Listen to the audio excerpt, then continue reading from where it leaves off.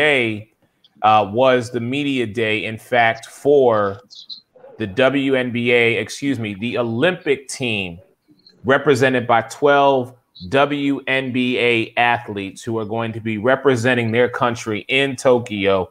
I just want to I want to share with the world if I may Megan something that you are extremely proud of. Ladies and gentlemen, this is our girl Miss Megan Price getting the opportunity to speak to one Miss Diana Taurasi, the GOAT. So uh, here is that little clip for y'all. Megan Price with Sideline Sports and Sports Arena. Can you talk about is there anyone new to the team that you're looking forward to playing with in particular? Well, I mean, I've actually, you know, been in training camp with a lot of these girls and, uh, you know, played against and with them. Um, you know, it's just always exciting to see how this team comes comes together. Uh, you know, every single one has its own identity. Uh, no two teams are ever the same. Um, and obviously with Dawn and, and the coaching staff, seeing, uh, you know, what style of play we're going to try to execute. Um, you know, we have a lot of newcomers, which will be great to integrate them into what we want to do. So, uh, you know, there's there's a couple players that you know I'm excited to see how they do and, and how they integrate. So, um, I, I, think each each person brings uh, a different flavor to the to the team, and uh, uh we'll see how it ends up. Awesome, thank you, and congratulations. Thank you. So, like we said, to watch what these 12 women are gonna do, they're representing our country. Right.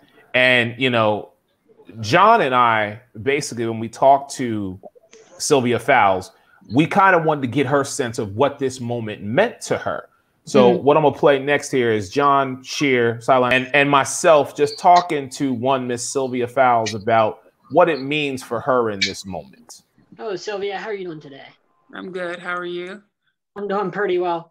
Uh, so my question is, how will you go about using this platform uh, to promote women's equality, not only for athletes, but media members and, and women in the sports world?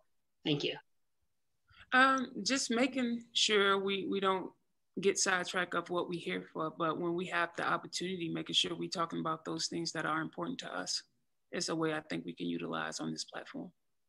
Sylvia, as always, I appreciate your time and, and congrats um, kind of piggybacking off the last question, talk to me just about this moment as you have a black head coach, you yourself are a black woman in the WNBA, you are an all star, a force to be reckoned with.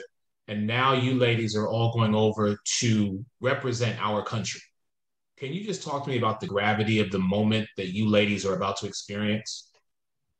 Um, uh, it's, it's kind of hard to grasp um, in a way uh, because we've been put on the back burner for so long. And so when we talk about it, uh, you have a group who's willing to listen, but you also have a group who's tired of us talking.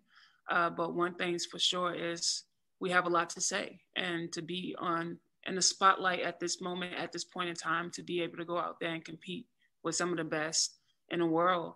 Um, I think we have a lot to say and we have a lot of eyes on us. So it's only right that we talk about the things that are meaningful to us and making sure we lead by example.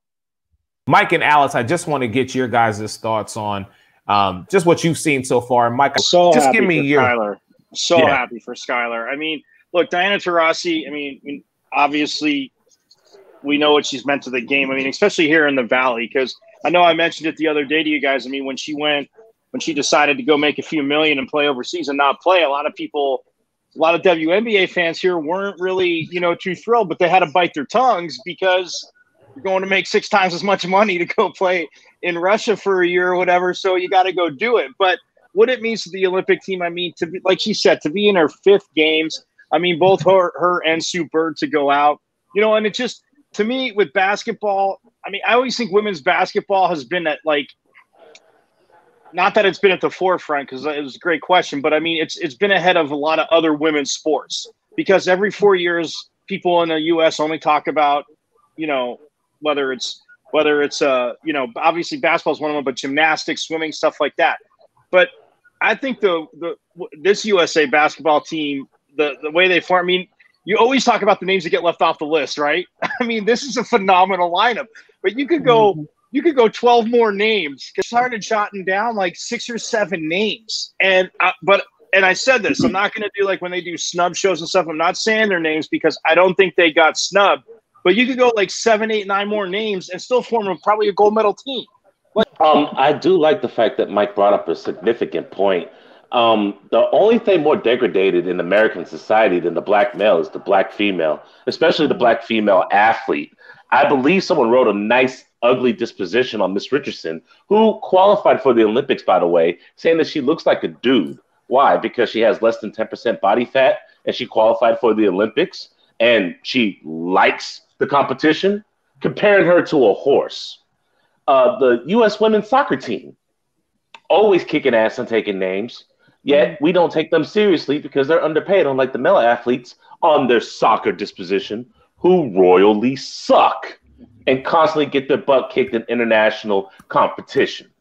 Oh, and then we have the WNBA and the NBA. Now, I'm not going to say the ladies in the WNBA can hang with the NBA players. What I will say is that you don't have athletes bashing other athletes. It's usually fat boys and couch potatoes who are bashing these WNBA players because they lack their skill, their commitment, and their attitude towards success. If you don't like what you watch and change the channel, but to belittle these women who bust their souls and give their hearts for what they love is just demeaning and asinine.